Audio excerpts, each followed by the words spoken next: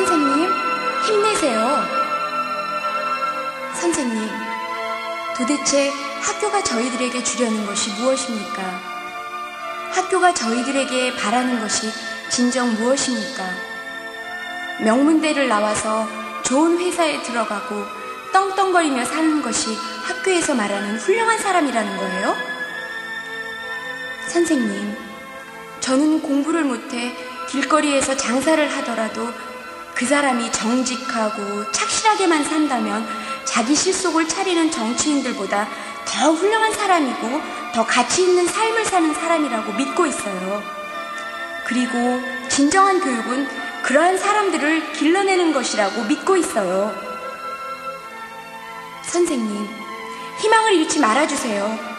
아무리 주위에서 불법이라고 떠든다고 해도 저는 선생님들이 굽히지 않고 이 가혹한 현실과 계속 싸워 나가시리라고 믿고 있습니다.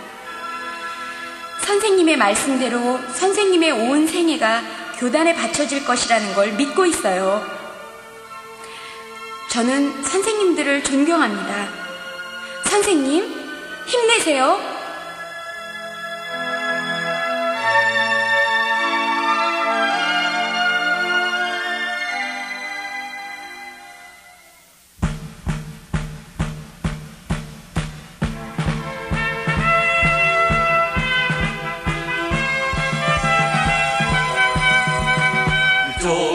삶을 떨쳐 한 교육의 벽 부수고 침묵의 교단을 딛고서 참교육 외치니 불종의 삶을 떨쳐 기만의 산을 옮기고 너와 나의 눈물 뜬 모아 진실을 외친다.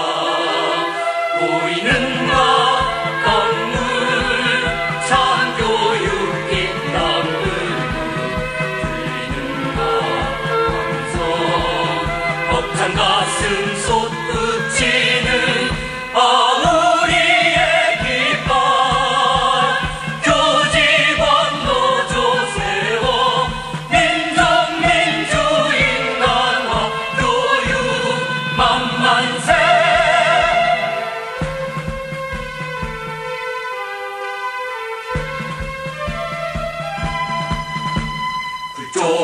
삶을 떨쳐 한교육의 벽 부수고 침묵의 교단을 딛고서 참교육 외치니 불종의 삶을 떨쳐 반역의 어둠 사르고 이제 교육 동지 굳세게 단결 전진한다.